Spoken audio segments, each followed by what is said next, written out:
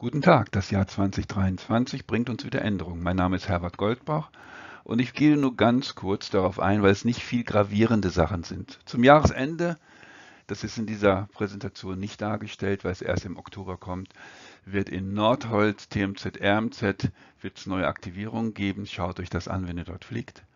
Die RMZ Haßfurt wird gestrichen. Der komplette Luftraum Echo im Bereich Bamberg und Haßfurt wurde neu geordnet.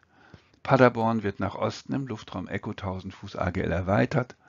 Schwäbisch Hall eine Erweiterung des Luftraums Echos in 1000 Fuß und im Bereich Mannheim, östlich Mannheim, hat man ebenfalls Echo auf 1000 Fuß neu gestaltet. Hier müssen wir sehr genau aufpassen.